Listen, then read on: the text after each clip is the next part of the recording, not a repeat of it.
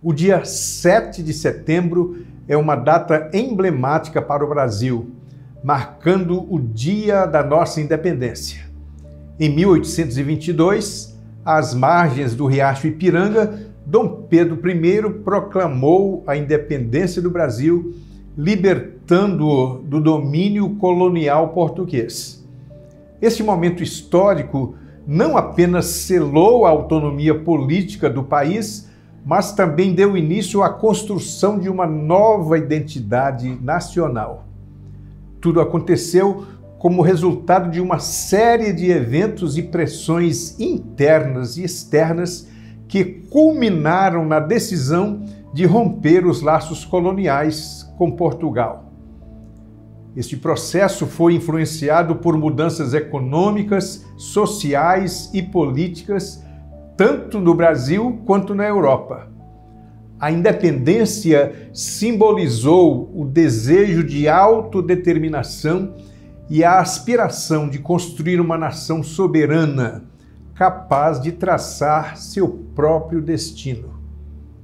A proclamação da independência foi apenas o primeiro passo na longa jornada de construção da identidade nacional brasileira. Este processo envolveu a unificação de um território vasto e culturalmente diverso, integrando diferentes povos, tradições e línguas. A independência também permitiu que o Brasil participasse mais ativamente do cenário internacional, estabelecendo relações diplomáticas e comerciais com outras nações. Essa nova posição no mundo ajudou a moldar a percepção do Brasil como um país independente e influente.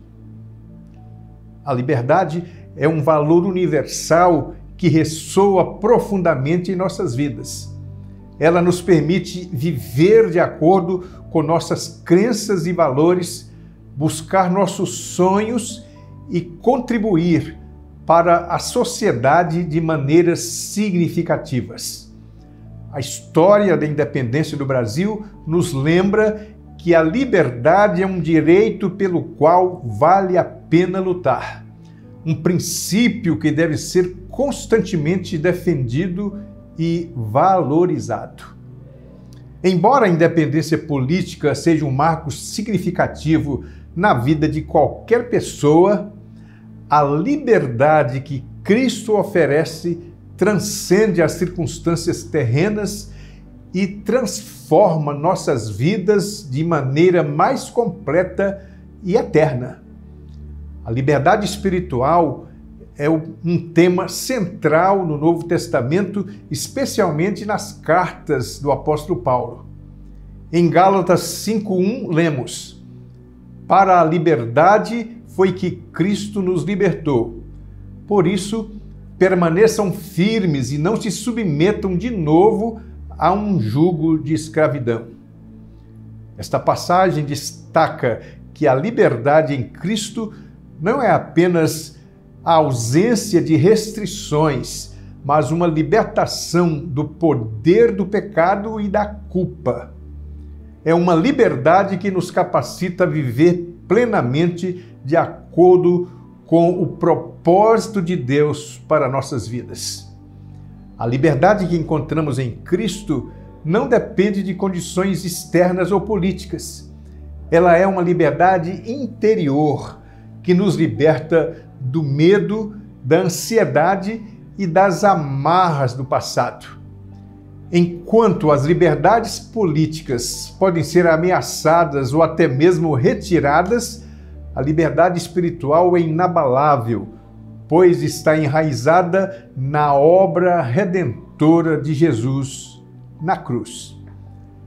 Essa liberdade nos permite viver com esperança e alegria, mesmo em meio a desafios e adversidades. Ela nos dá a força para perdoar, amar incondicionalmente e buscar a justiça refletindo o caráter de Cristo em nossas ações diárias.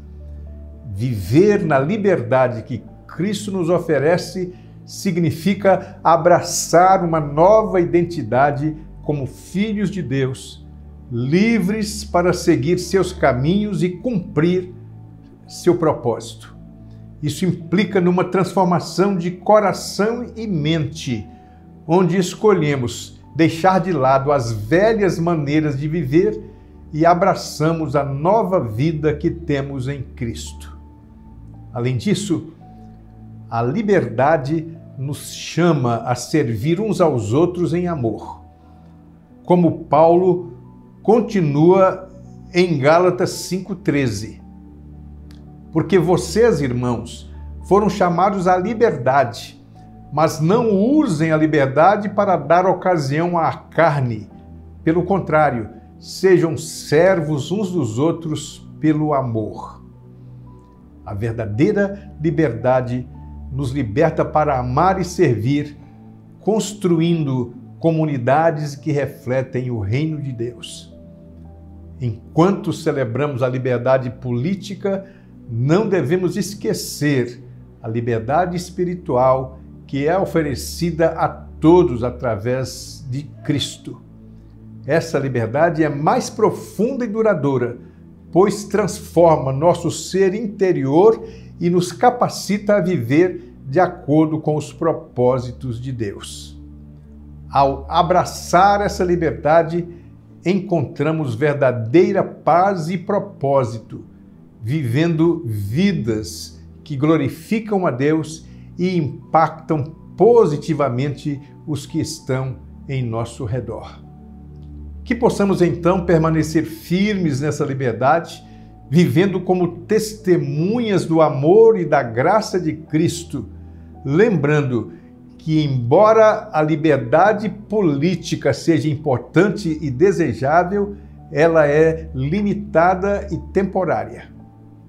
A verdadeira liberdade, a liberdade que transforma e transcende todas as barreiras, é a liberdade que encontramos em Cristo.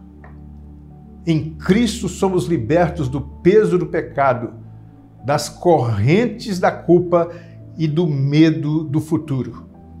Ele nos oferece uma liberdade que não pode ser tirada por circunstâncias externas ou poderes humanos. É uma liberdade que nos permite viver plenamente com propósito e paz. Sejamos, pois, testemunhas dessa liberdade, mostrando ao mundo que em Cristo encontramos a verdadeira libertação que todos os corações anseiam. Que o Senhor nos capacite a viver essa liberdade diariamente e que possamos compartilhar essa boa nova com todos ao nosso redor, para que também possam experimentar a alegria e a paz que vem de conhecer e seguir a Cristo.